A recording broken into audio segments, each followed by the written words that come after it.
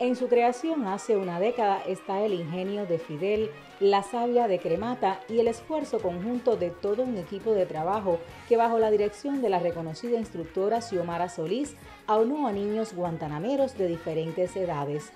Guantánamo tendría desde entonces, como varias provincias del país, su colmenita.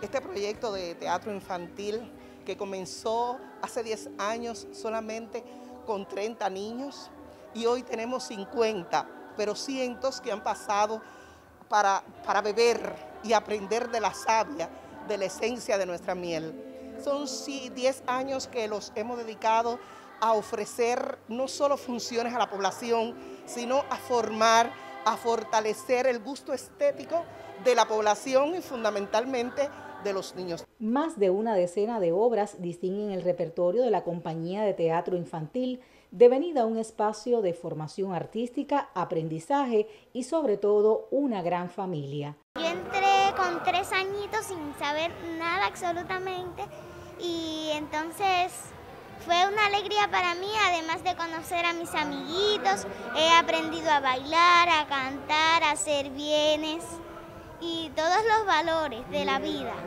Entonces yo me siento muy bien y le agradezco demasiado a mis profesoras y a mis abuelitas por todo esto que han hecho por nosotros. El impacto hace más de un año de la pandemia transformó sus dinámicas habituales de ensayo y presentaciones.